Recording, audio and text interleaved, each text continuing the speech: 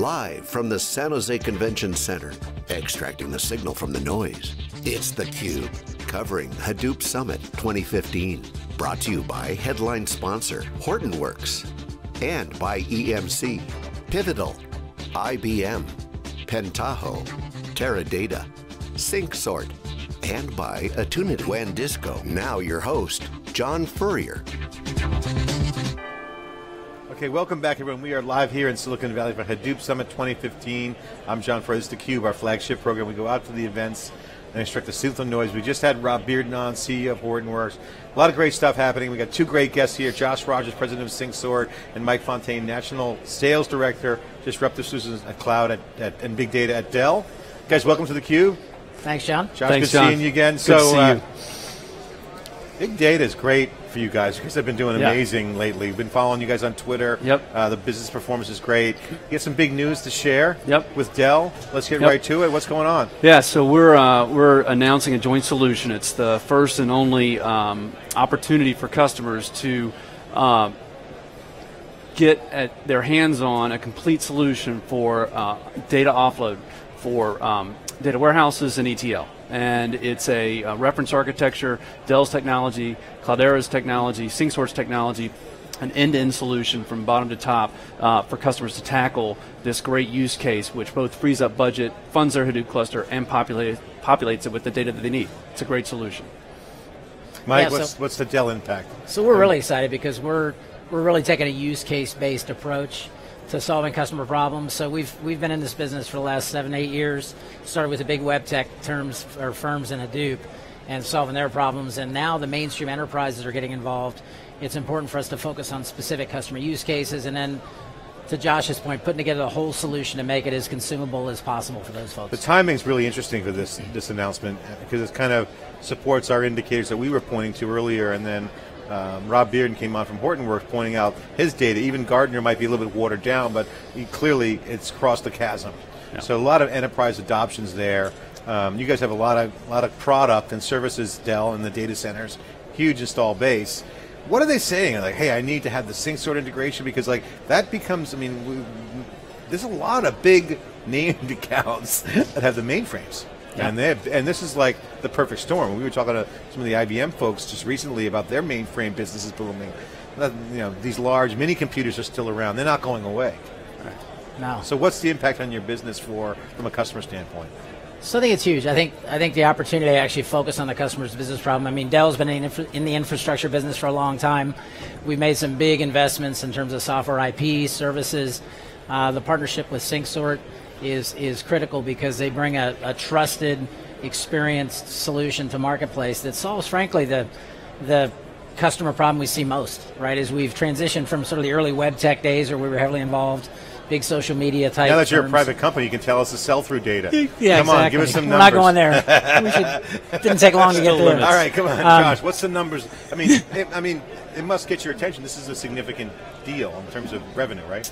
Oh, absolutely. Yeah, it's it's. I mean, if you think about the the I'm number of the numbers. You have to customers, share the numbers, but the the number of customers, and across the breadth of segments, from the smallest startup companies all the way to the largest globals, uh, the opportunities there. Yeah, I mean, I, I- I'll comment. You know, we came out with our DMXH um, Hadoop first ETL solution a couple of years ago, and you know, as we engaged with customers and, and saw that gain traction, you know, the number one use case was offload, and it's a perfect starting starting point uh, for these organizations because.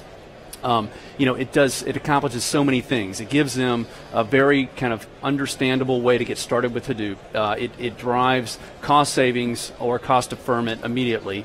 Um, it, their teams learn how to deploy the infrastructure and manage the infrastructure, and it, it saves uh, it saves money, and, and it also populates that cluster with all the data that they need to start to get those transformational insights. So you know, as we have seen customers adopt offload as their first use case, we've you know built purpose-built features Yeah. to make that easy. Now, when you combine that with Dell's expertise and their reach, you know, we just think we have an unmatched solution to be able to kind of get people started on the journey to big data. Well, and you get also distribution in all of the corners of, the world Right. now with the distribution, and you and you got platform use cases. It's Right. not Hadoop. You got Linux and other like the mainframe covered. Yep. So you're extending your tentacles of SyncSort into wherever environment you need to build software connectors to, right? Yeah, you know, our, our goal, we really took an approach of, you know, Hadoop is going to win. Hadoop is going to be the big data operating system. And our, our job is to make it as easy as possible for customers to suck those expensive workloads that are running in other places into Hadoop, along with the data. And we believe that's going to be a great catalyst for, you know, getting people started on that Hadoop journey. Obviously, with this relationship, we're tackling data warehouse optimization, and ETL offload. We have another relationship we launched in Q4 where we've gotten our, our initial wins um, with Cognizant tackling mainframe offload, which is another uh, uh, use case that is uh, populating our pipeline more so than we thought. Yeah. Um, and, and there, the savings are a, a bit more measurable and immediate because as soon as you offload those MIPS into a Hadoop environment, you start saving money that day. Yeah, yeah. Um, so we, we are continuing to look for those use cases that will help customers justify and give direction to their uh, you know big data ambitions. Well, they got to enable some analytics, right? So the key is with scale out, right? Dell has made a great run with us on the scale out commodity hardware business or industry standard. I mean, whatever works best for the optics, Yep. but you know that is not proprietary. That's going to be scale out. Yep. So now you guys are in a good position of software. What what I mean, does SyncSort ultimately become a non-mainframe software company? At Yeah, some more- point, I mean, more and more of our uh, use cases are you know extending beyond the mainframe Yeah. for sure. Um, you know we, we have a number of customers that are, are don't have mainframes and still use us. But you know when people want to leverage the compute that they put on the floor with Hadoop for you know um, high scale uh, mission critical processing, we, you know we are the logical choice because of our expertise and because of all of the um, you know uh, engineering that we've done over the last decade in our core engine that we've now run you know directly on Hadoop. So take us through the concept with the Dell customer, um, that with SyncSort, how that would play out, and, and and comment specifically on the challenge that we hear in the marketplace, which is, I want to unify my data. I got to have some unification on the ingest. Yeah. I got a lot of stuff everywhere, and you know, it could be you know Cassandra over here, uh, cluster. I got Opus Hadoop, and uh, the big mainframe in the glass house doing its business. You know, Yeah. Grandpa mainframe doing its thing. Okay, I got to unify it together now. So how does that work with the Dell customer? Just take me through a, a, a use case. Yeah, so you know we, we engage with a number of customers and we, we understand their environment. We figure out okay if you have a mainframe, tell us about what you're trying to accomplish there. Reduce costs. You have a data warehouse. Is that at capacity? Yes. Would you like to avoid upgrades? Yes. Um, would you like to have a more flexible infrastructure for leveraging your data assets? Yes. What do you think that's going to be? Hadoop. You know, does it make sense to think about starting to suck the expensive workloads running on the mainframe in the warehouse into Hadoop to populate the infrastructure and also save some money? That would be great.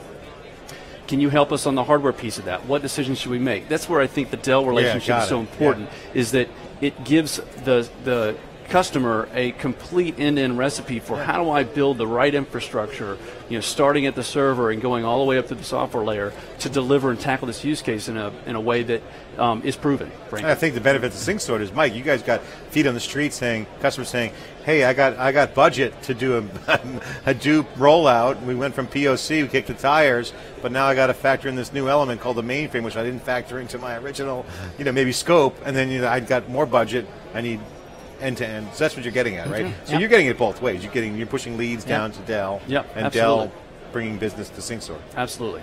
Yep. Absolutely. I mean, IT centric use case. Every customer that's got a data warehouse has an issue of you know they're going to have to expand it at some point, or they got performance issues or capacity issues today, and they're a prime candidate to say, hey, let's offload some of that activity, free up that precious resource to do the really high, high value analytics and BI type use cases. Mike, talk about Dell. What's going on with Dell? So we were talking before we came on. Um, we did Dell World last year at the Cube. Really friendly with Michael. Big fan of what Yep. he's done, certainly over the years, and then taking it private, which I was a huge fan of.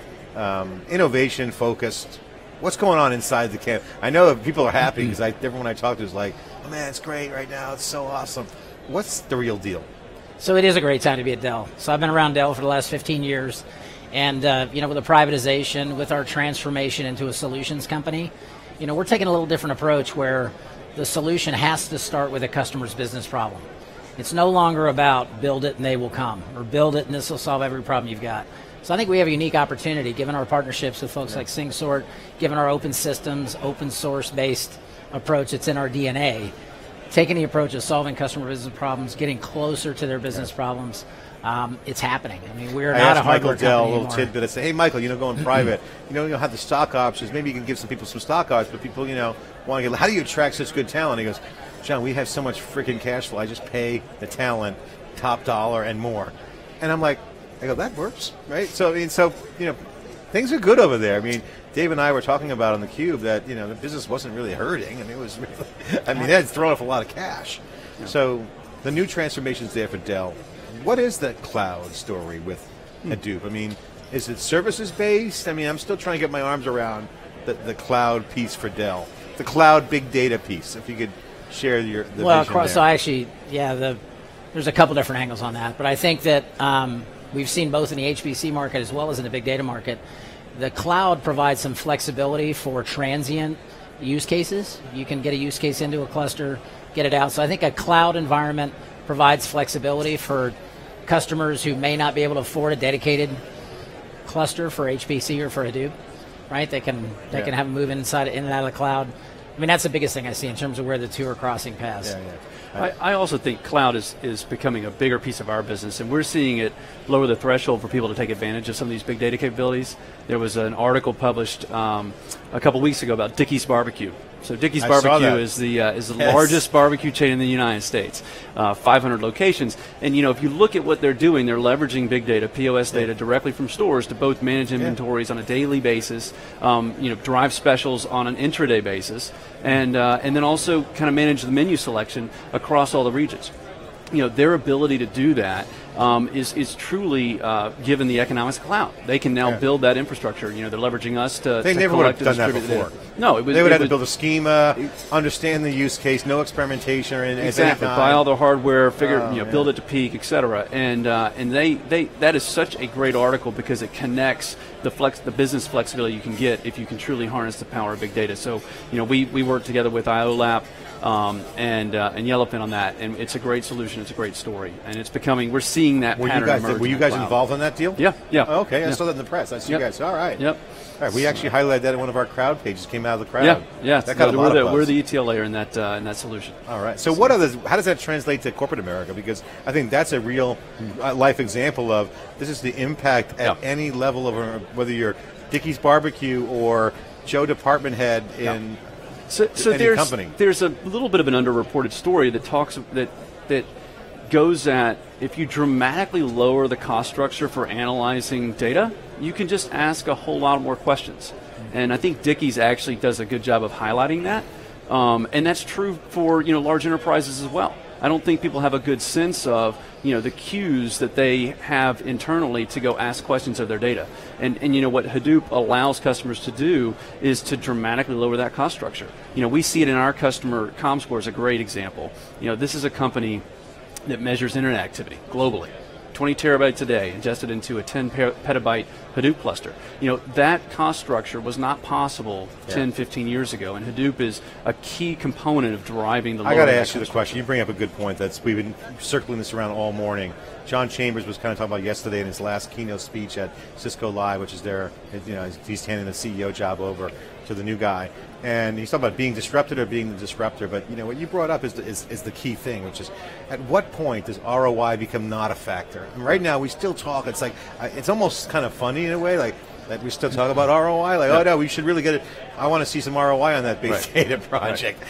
At what point, Josh, in your opinion, with seeing customers, when do we stop talking about ROI? When yeah. it's so obvious. Yeah. So, that you so just what, have to get going. What I've seen, and our you know dozens of customers have gotten into production deployments, is you know once you get over the hurdle of saying I'm going to make the investment to build the infrastructure and the skills, first of all, the marginal cost of delivering the next project goes way down. Um, second, that we've seen is it just attracts users and it attracts you know new business use cases and existing processing and new talent for the company. Absolutely, I mean engineers and too. We're like, hey, I'm going to work on a new cool project. What, I was meeting with a customer last week, one of our first uh, uh, Hadoop customers. They they started with the traditional data warehouse optimization ETL offload. they're saying they're going to, their plan is to go from approximately 300 nodes now to 6,000 nodes over Yeah. the next three years. And that's based on the demand they're seeing from their business users with new use cases coming to them. So, you know, I think once you get the infrastructure in place, once you get the skills built internally and you have the right set of tools to, uh, to execute various use cases, you know, the, the demand just explodes internally. And that's what we're seeing. That's why we're focusing this solution with Dell on that on-ramp, which is offload. Which You know, I think a- you, brought up a good big point. I talked to a CIO friend in a big company. I won't say their name.